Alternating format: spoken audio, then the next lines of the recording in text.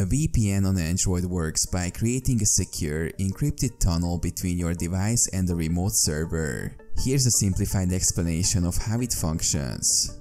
Data encryption. When you activate a VPN on your Android device, all your internet traffic is encrypted. This means that any data you send or receive, including your web browsing, app usage and file downloads, is encoded into unreadable code.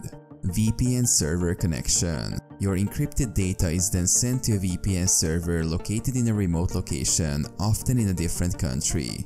This server acts as an intermediary between your device and the internet.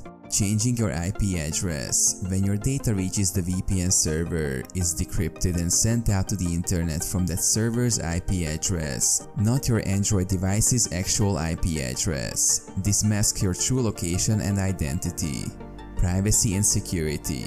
Because your data is encrypted and routed through a different server, it becomes extremely difficult for hackers, ISPs or government agencies to monitor your online activities or track your IP address. Access to restricted content. VPNs allow you to access websites and online services that may be geo-restricted.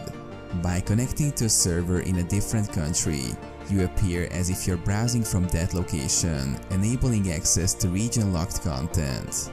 Data integrity. VPNs also ensure data integrity by protecting against data interception and tampering during transit. Disconnect and revert. When you disconnect from the VPN, your internet connection returns to its normal state, and your IP address is no longer masked.